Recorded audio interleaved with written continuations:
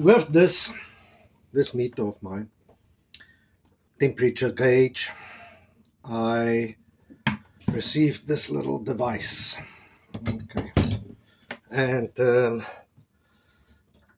uh, what you will notice over here um, we know over here water is coming through going that way through this pipe. Um, and uh, so we can sense water temperature over there but I wanted to take notice of something. Um, look at that. Looks like the same thing doesn't it? So yeah um, it looks like it has to be going into that position over there. Um, also what I have done previously and you can do this if you want to but you can just believe me uh, maybe that's the easy way out. You can take the measurement of let's say the front of this versus the back. Okay. 2,5 kilo ohm something in that range. And you will see that that actually changes according to the temperature of the engine. Okay um, so you can do the measurements and you can go and see that for yourself. The engine is cold at this stage. Um, so that does change. What you can do and this is what I've done. I started the engine let it run for a while until it's nice and warm. And then as it was cooling down I could see the resistance change accordingly. Okay. So I think the first to install this little meter of us I think the first thing to do would be to remove this. Okay. Oh nice and corroded over there. I didn't don't know if you saw that the green over there. For this you use a okay yeah, pardon my uh, tools. They've seen better days. They are rusted you can see. You know, we have salt water on this side of the world. Okay. Okay let me show you. Look at that. Same thing isn't it? I say it's the same thing. The front is different though. Over here you can have a screw on that. It's got a thread. This one, I don't actually know what, how this works. Doesn't matter. I'm not going to use it. Okay, so let's just, here it goes in easily. Well, up to a certain point though. Okay, I don't want to force it, so I just took a look at the lengths of these threads. That is, it sound looks like uh, I want to say exactly the same length. So this should be able to go into the same place as that. I'm still not going to force it. Um, if you look at that you'll see basically the same length. Okay so I'm not going to force it. Um, but uh, I think it should go in. Oh yeah, I don't know. Let's see.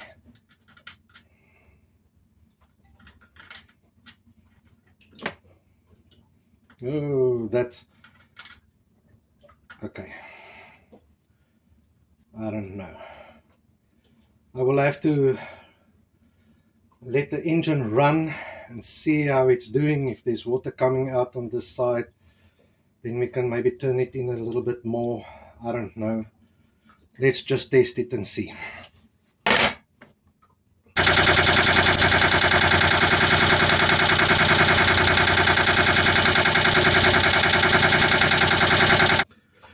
The engine is not very hot.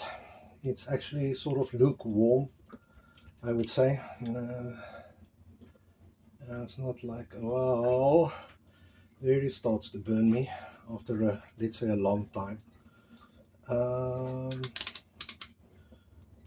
okay, let's see what's the resistance reading.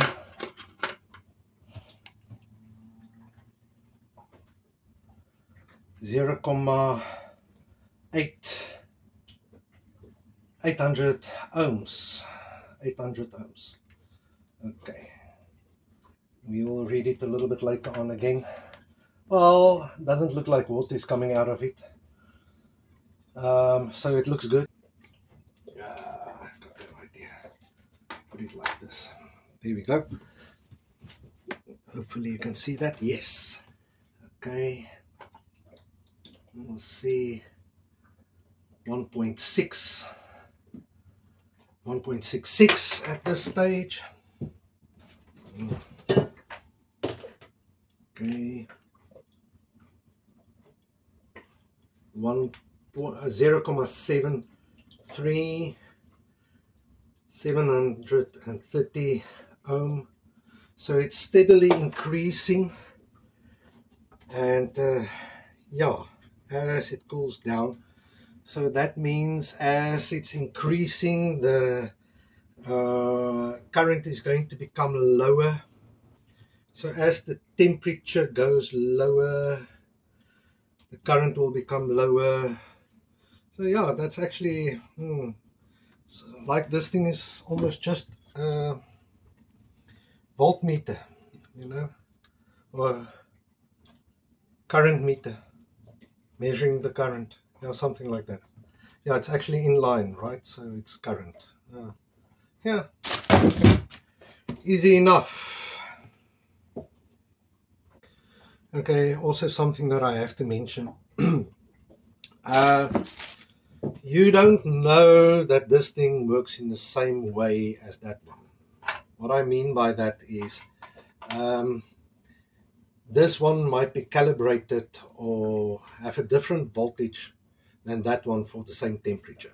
So it doesn't mean you can just connect this um, to this one. Okay, you have to connect the correct meter to the correct sensor over there. At the back of this, you will see that is the positive side, that is the negative, and that has got an S next to it. The S is for signal, or generally that's what it is. Positive and negative explains itself. The signal has to be connected to that. This, um, yeah, uh, when I say the signal uh, to the front part only, okay, very important that the front part and the back part doesn't connect to each other or doesn't touch each other um, in some way uh, with a metal okay so that it can conduct from the one to the other because then you will not get any reading or any accurate reading okay? You are going to basically short out things so it doesn't sound too good okay? Uh, so that is something that you try to avoid. Um, and then yeah we can I can somewhere show you quickly over here just the resistance thing again. Um, if you measure from here to there get 0 0.8 uh, let's see if we can get a more accurate reading. Like we've done in the past. 0 oh, 0 0.91 already. Okay. 0 0.91 uh, I don't know if you can see this. Okay let me that you should be able to see 1.91 yes but you can also measure it from there you see because this part zero resistance well zero resistance mm, sounds like a superconductor but yeah it's got a very very low resistance. That's true though. So also you've got the light bulb over here and this fits over here into that hole over there. Uh, these light bulbs doesn't really have a positive and a negative.